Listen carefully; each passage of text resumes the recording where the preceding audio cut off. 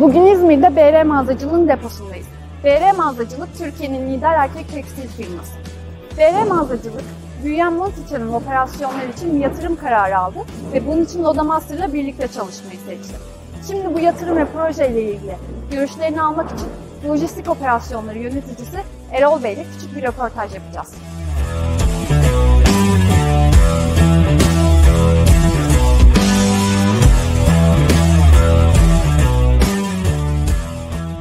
BR mağazacılık ve bu operasyon hakkında bize biraz bilgi verebilir misiniz? BR mağazacılık bir Boyner iştiraki. Ee, 25 senedir e, erkek giyim üzerine çalışan bir organizasyon. Son dönemde de Altınız Classics ve Beymen Business markalarında içini bulunduran ve erkek giyiminde Türkiye lideri olan bir e, firmayız. Evet. Ee, bu yatırım kararını almanızda ne gibi ana etkenler rol oynadı? Şimdi bizim aslında pandemiye kadar B2B ağırlıklı çalışan bir organizasyondu. Yaklaşık Türkiye genelinde 250 tane satış mağazamız var. Yurt dışında da yaklaşık 30 tane satış mağazamız var.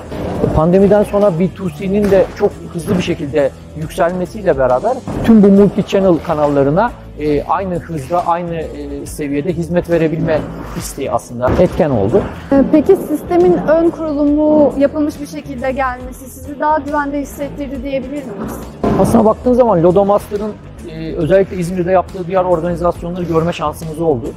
Bu konuda içimiz zaten rahattı. Yani benzer bir organizasyon yapmak e, hedefindeydik.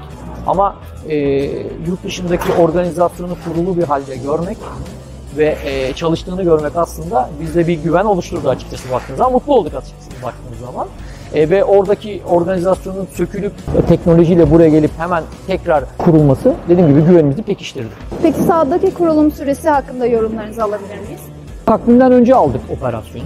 Ben e, takvimden biraz daha sarkacağını düşünüyordum ve e, Lodomaster'ın kurulumdan sonra daha az burada olacağını düşünüyordum. Fakat e, daha fazla bizle birlikte oldu ve bütün testleri beraber yapmak, bütün organizasyonu beraber yapmak bizim için çok güzel bir tecrübe oldu. Orada çok mutluyuz açıkçası. Peki bize e, BR mağazacılığın gelecek yatırımlarıyla ilgili biraz bilgi verebilir misiniz?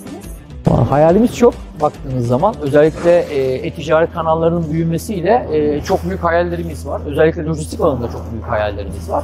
Ama bu çatı altında çok yapabileceğimizi düşünmüyorum artık. Metrekare olarak e, son operasyonumuzu da yaptık ama Türkiye'nin diğer illerinde bu operasyonu yürütme adına çok büyük hayallerimiz var aslında baktığınız zaman. Büyüme hayallerimiz var. Peki teşekkür ederim. Ben teşekkür ederim.